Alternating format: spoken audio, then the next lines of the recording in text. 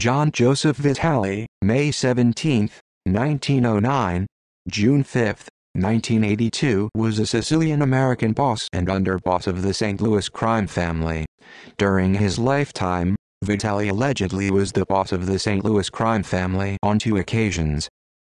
Early life John J. Vitale was born in St. Louis, Missouri in 1909, the eldest of eight children of Joseph Vitale, Sr. and Mary Teresa Bovacanti. Both of Vitale's parents were born in Sicily, his father in Trapani and his mother in Termini Imerese. They immigrated to the United States a few years before John was born. During the Great Depression, he worked as an usher at the Ambassador Theater where he met movie actress Ginger Rogers. The two became lifelong friends. On September 8, 1929, he married Fara Marie Ciaramitaro, the daughter of Giuseppe Ciaramitaro, also spelled Ciaramitaro and Rosaria Bomarito. Together, they had four children. After Fara died in July 1973 John married Mildred Joyce Allen on August 4, 1973, in Las Vegas, Nevada. They moved back to St. Louis, Missouri to start their family together, including Mary Michelle Vitale, who was age 13 at the time. Vitale's arrest record began circa 1920, though he was rarely convicted. For example, in 1934, he was a suspect in the death of Mike Palazzolo. According to St. Louis investigative reporter John Obel, Palazzolo allegedly had an ongoing quarrel with a man named Walter Mashenik. In May 1934, Mashenik assaulted Palazzolo's girlfriend Delphine, slapping her in the face. After Delphine informed Palazzolo of the assault, Palazzolo stated that he was going to get even with Mashenik. Witnesses stated that when Palazzolo left his parents' house to visit a friend, Vitale arrived and waited for him to return. After returning home, Palazzolo left with Vitale in Vitale's car. That was the last time Palazzolo was seen alive.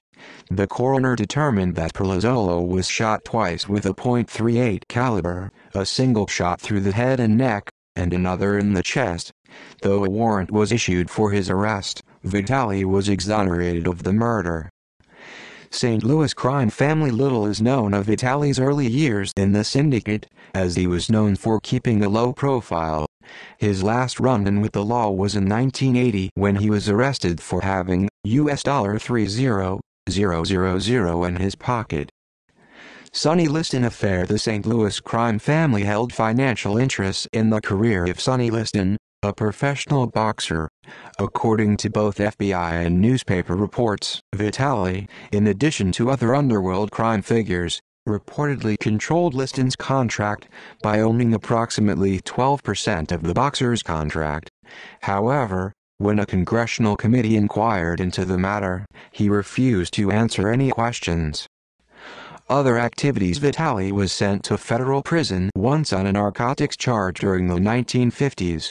In 1958, he was charged with the federal crime of transporting firearms across state lines, which he appealed. In February 1959, he was called to testify regarding mafia-controlled coin machine rackets, but invoked the Fifth Amendment to the United States Constitution against self-incrimination. In 1977, he was charged with assault and sentenced to the St. Louis City Workhouse. Final Days Two sources claimed that Vitale later became an FBI informant following the death of boss Anthony, Tony G. Giordano. However, no evidence has been provided to substantiate this claim. Further, Vitale remained the boss after Giordano's death, dying of natural causes in St. Louis as an elderly man. He died on June 5, 1982 and was buried on June 9, 1982 in Calvary Cemetery in St. Louis.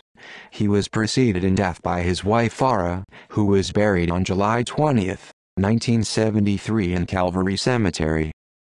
References External link St. Louis family AmericanMafia.com Giordano, The St. Louis Crime Family Crime Library